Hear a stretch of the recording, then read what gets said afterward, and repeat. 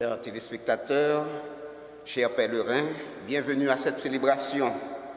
Nous prions aux intentions de M. Jacques Marceau, demandé par Mme Isabelle Marquis. Au nom du Père et du Fils et du Saint-Esprit, la grâce de Jésus-Christ notre Seigneur, l'amour de Dieu le Père et la communion de l'Esprit Saint soient toujours avec vous. Aujourd'hui, l'Église fait mémoire de Saint Philippe Néry, prêtre. La liturgie nous invite à être tolérants, à accueillir toutes les personnes qui s'approchent de Dieu. Préparons-nous à entendre cette parole et à vivre toute l'Eucharistie en reconnaissant que nous sommes pécheurs. Seigneur, accorde-nous ton pardon.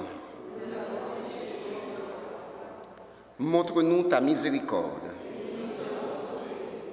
Que Dieu Tout-Puissant nous fasse miséricorde, qu'il nous pardonne nos péchés et nous conduise à la vie éternelle. Seigneur, prends pitié. Au Christ, prends pitié. Seigneur, prends pitié. Prions le Seigneur. Dieu qui ne cesse d'élever à la sainteté ceux qui te servent fidèlement, accorde-nous d'être embrasés du feu de l'Esprit qui brûlait si merveilleusement au cœur de Saint Philippe Néri. Par Jésus-Christ, ton Fils, notre Seigneur et notre Dieu, qui vivrait avec toi dans l'unité de cet Esprit, maintenant et pour les siècles des siècles.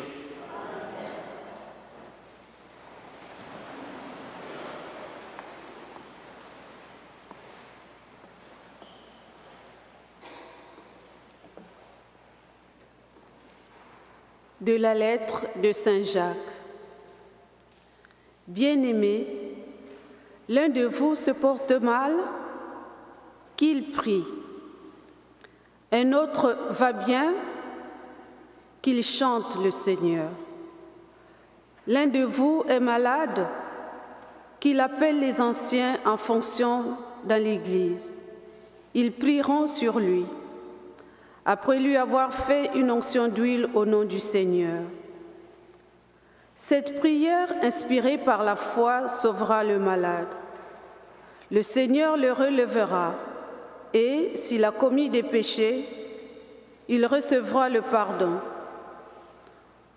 Confessez donc vos péchés les uns aux autres et priez les uns pour les autres afin d'être guéris.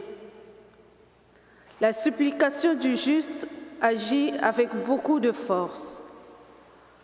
Le prophète Élie n'était qu'un homme pareil à nous. Pourtant, lorsqu'il a prié avec insistance pour qu'il ne pleuve pas, il n'est pas tombé de pluie sur la terre pendant trois ans et demi. Puis il a prié de nouveau, et le ciel a donné la pluie, et la terre a fait germer son fruit. Mes frères, si l'un de vous s'égare loin de la vérité et qu'un autre l'y ramène, alors sachez-le, celui qui ramène un pécheur du chemin où il s'égarait sauvera sa vie de la mort et couvrira une multitude de péchés. Parole du Seigneur.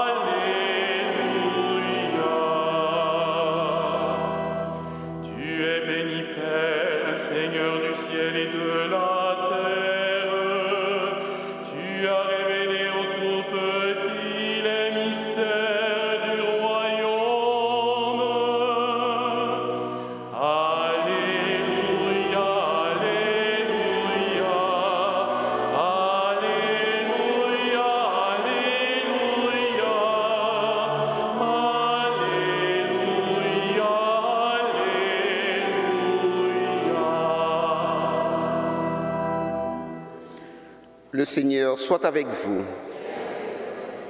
Évangile de Jésus-Christ selon Saint Marc. En ce temps-là, des gens présentaient à Jésus des enfants pour qu'il pose la main sur eux. Mais les disciples les écartèrent vivement. Voyant cela, Jésus se fâcha et leur dit, Laissez les enfants venir à moi, ne les empêchez pas, car le royaume de Dieu est à ceux qui leur ressemblent. Amen, je vous le dis. Celui qui n'accueille pas le royaume de Dieu à la manière d'un enfant n'y entrera pas. Il les embrassait et les bénissait en leur imposant les mains. Acclamons la parole de Dieu.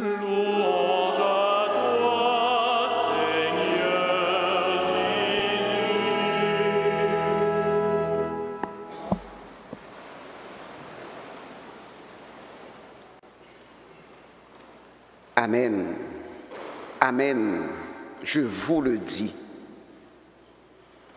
Cette formule venant de la bouche de Jésus indique que ce qui suit est particulièrement important.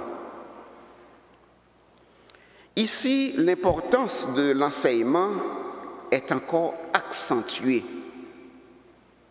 Jésus se fâche Jésus se fâche.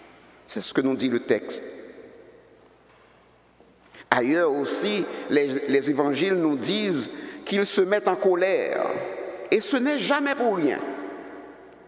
En fait, il s'agit d'un enseignement fondamental, puisqu'il est question de la manière d'entrer dans le royaume de Dieu. Essayons de se représenter la scène. Si les apôtres, avec les meilleures intentions du monde, repoussent ces enfants, c'est que ceux-ci veulent s'approcher du Christ.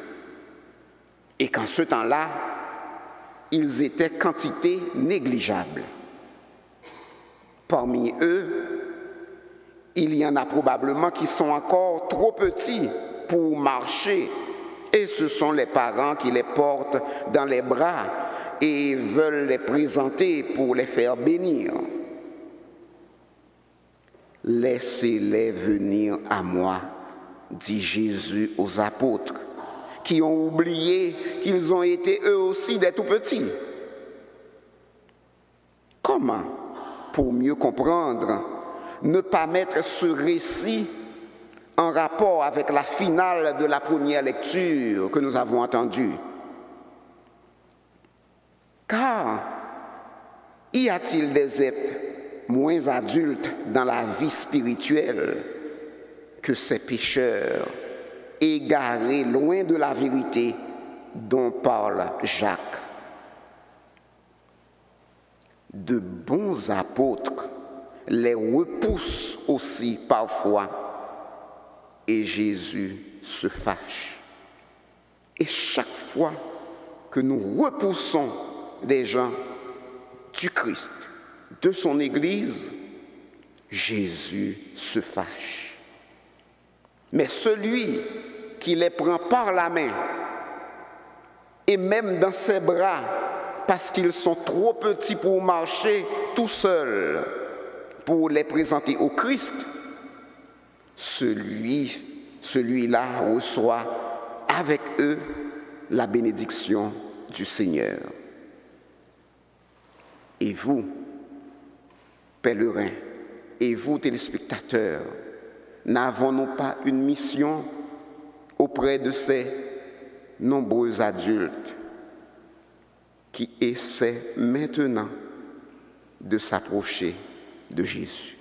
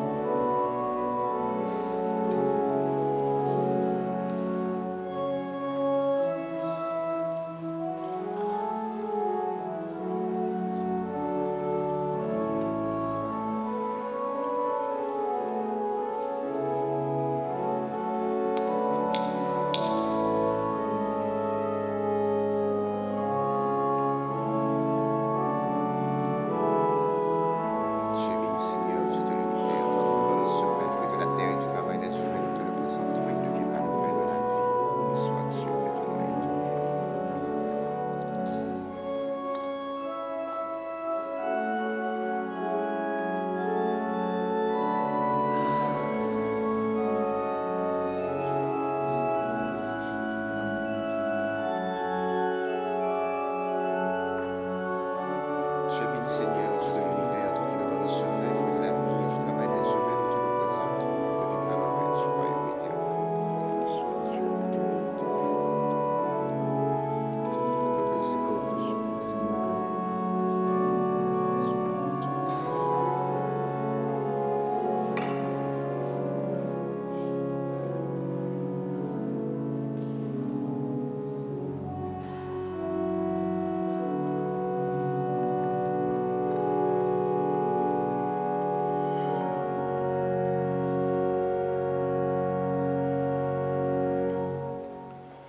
Prions ensemble au moment d'offrir à Dieu le sacrifice de toute l'Église. En t'offrant, Seigneur, le sacrifice de louange, nous te demandons cette grâce. Puissions-nous, à l'exemple de Saint Philippe, travailler à ta gloire et au service du prochain dans une, dans une joie continuelle. Par Jésus-Christ, ton Fils, notre Seigneur et notre Dieu, qui est avec toi et le Saint-Esprit, maintenant et pour les siècles des siècles. Le Seigneur soit avec vous. Élevons notre cœur. Rendons grâce au Seigneur notre Dieu.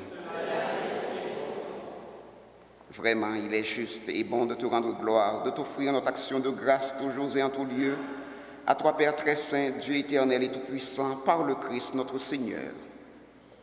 En célébrant aujourd'hui la fête de Saint Philippe Néri, nous admirons ta sollicitude pour ton Église. Par l'exemple qu'il a donné, tu nous encourages. Par son enseignement, tu nous éclaires. À sa prière, tu veilles sur nous. C'est pourquoi, avec tous les anges et tous les saints, nous proclamons ta gloire en chantant.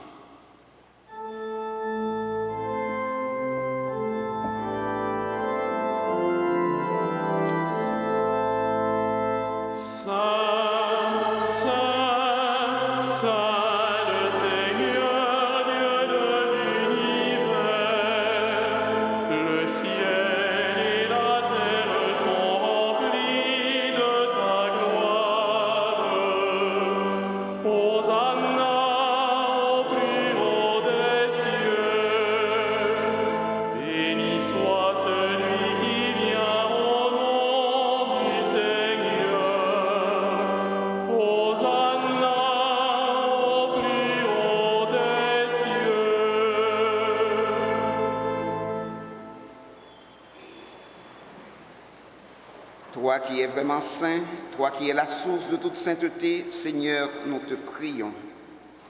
Sanctifie ces offrandes en répandant sur elles ton esprit, qu'elles deviennent pour nous le corps et le sang de Jésus le Christ, notre Seigneur.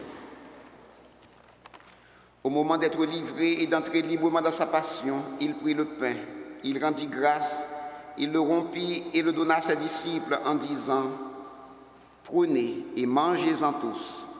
Ceci est mon corps livré pour vous.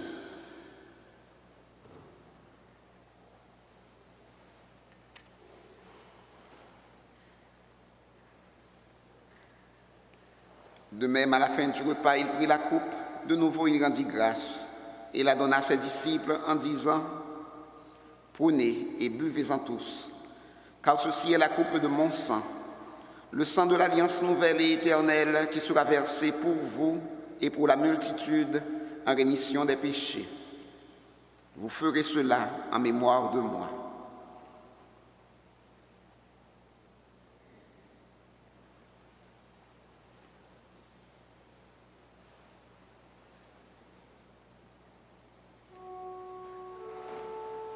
Il est grand le mystère de la foi.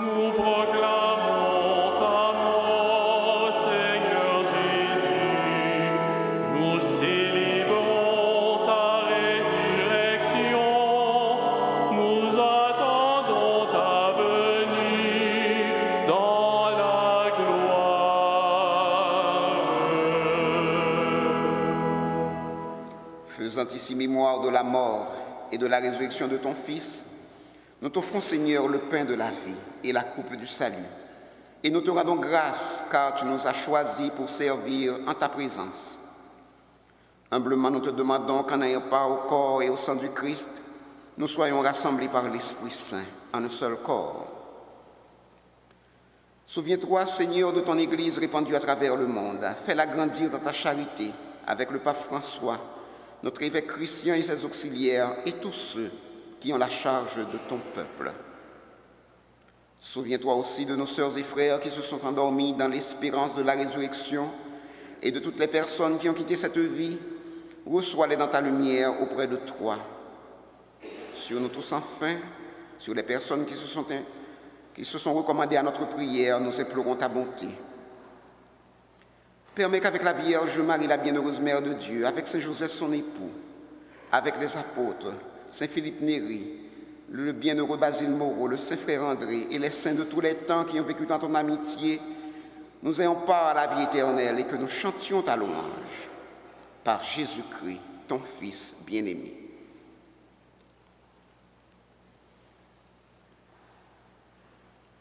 Par lui, avec lui et en lui. À toi, Dieu le Père Tout-Puissant, dans l'unité du Saint-Esprit, tout honneur et toute gloire pour les siècles des siècles.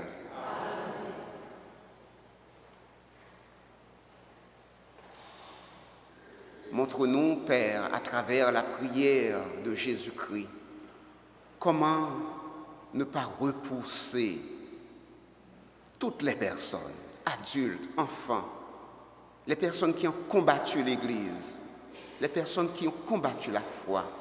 Aide-nous à les accueillir. Montre-nous comment les accueillir pour toi, pour ton Église. Voilà le pain que nous te demandons à travers la prière de Jésus-Christ. Notre Père, que ton nom soit sanctifié, que ton règne vienne, que ta volonté soit faite sur la terre comme au ciel. Donne-nous aujourd'hui notre pain de ce jour. Pardonne-nous nos offenses, comme nous pardonnons aussi à ceux qui nous ont offensés. Et ne nous soumets pas à la tentation, mais délivre-nous Délivre-nous de tout mal, Seigneur, et donne la paix à notre temps. Par ta miséricorde, libère-nous du péché.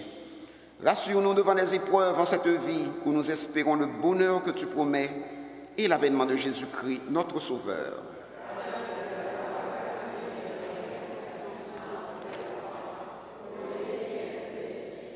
Seigneur Jésus-Christ, tu as dit à tes apôtres, je vous laisse la paix, je vous donne ma paix. Ne regarde pas nos péchés, mais la foi de ton Église. Pour que ta volonté s'accomplisse, donne-lui toujours cette paix et conduis-la vers l'unité parfaite, toi qui règnes pour les siècles des siècles. Que la paix du Seigneur soit toujours avec vous. Partageons un signe de paix.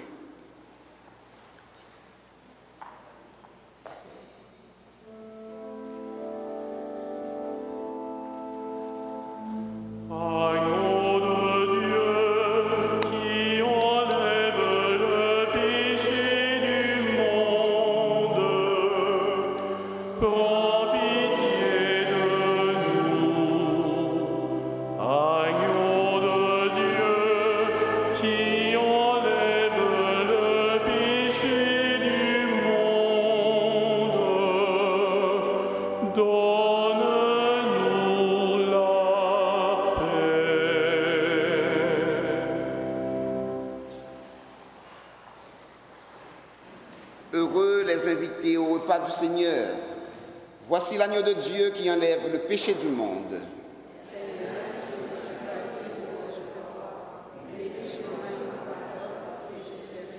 Le corps du Christ nous conduit à la vie éternelle.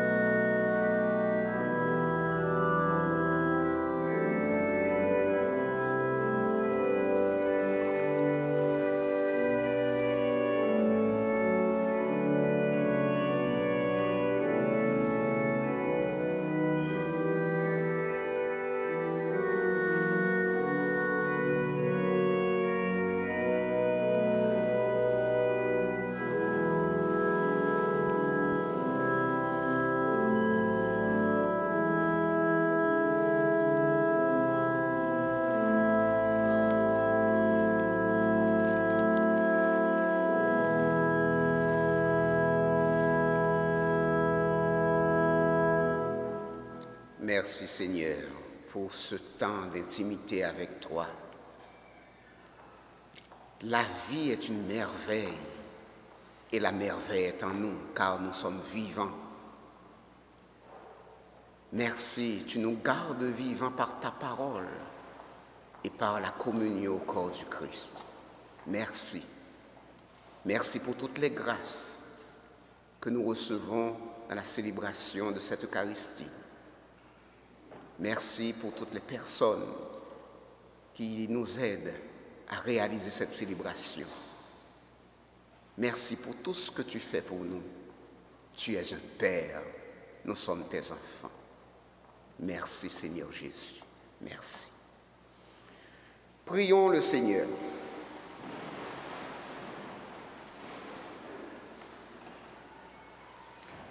Tu nous as donné, Seigneur, de goûter aux joies du ciel. Fais qu'à l'exemple de Saint Philippe, nous ayons toujours soif des sources de la vraie vie.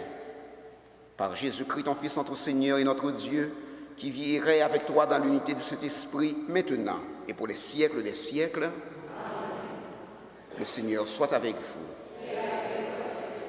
Que Dieu Tout-Puissant vous bénisse, le Père, le Fils et le Saint-Esprit. Allez dans la paix du Christ. Bonne journée.